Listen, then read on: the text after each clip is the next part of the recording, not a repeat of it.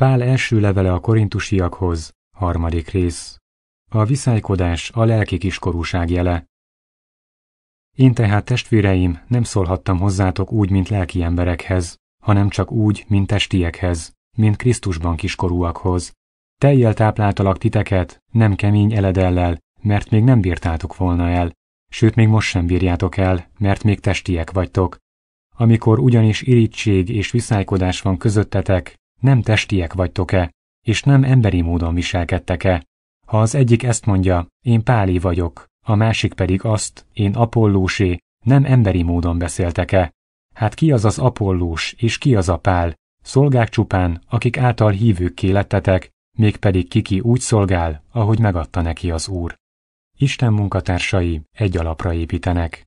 Én ültettem, Apollós öntözött, de Isten adta a növekedést, úgyhogy az sem számít, aki ültet, az sem, aki öntöz, hanem csak Isten, aki a növekedést adja.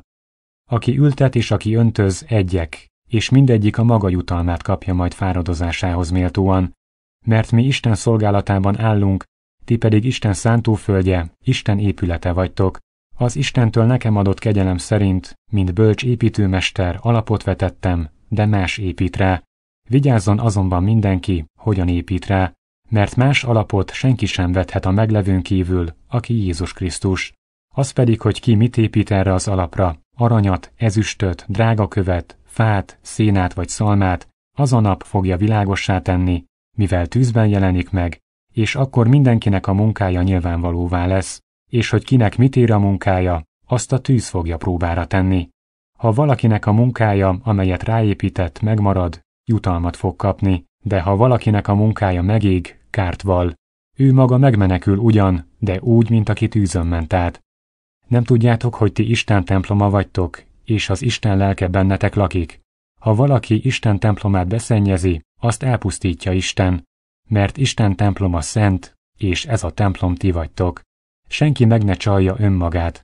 Ha valaki bölcsnek gondolja magát közöttetek ebben a világban, legyen bolondá, hogy bölcsé lehessen.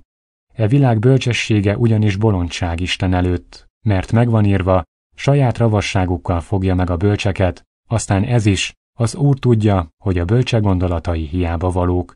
Azért senki ne dicsekedjék emberekkel, mert minden a tietek. Akár Pál, akár Apollós, akár Kéfás, akár a világ, akár az élet, akár a halál, akár a jelenvalók, akár az eljövendők, minden a tietek. Ti viszont Krisztuséi vagytok, Krisztus pedig Istené.